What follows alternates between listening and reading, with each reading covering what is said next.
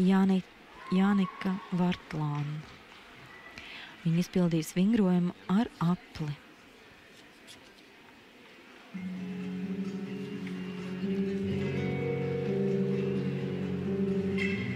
Vingrojums sākas ar teisoļiem.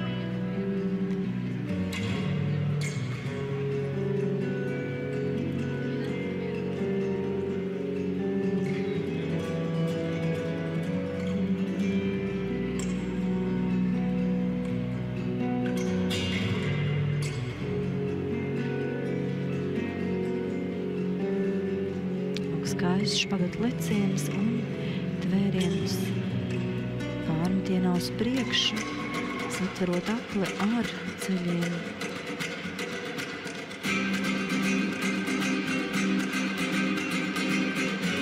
Ļoti neprecīzs tvēriens, riska elementā.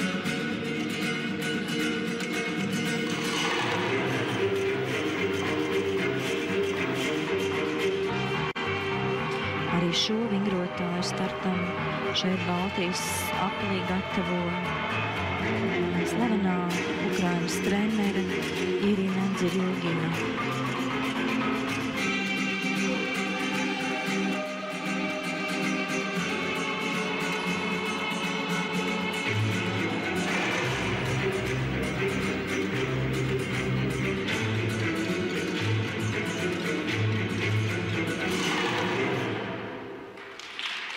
Ļoti precīzi mūzikā. Pārliecinoši. Izpilda savu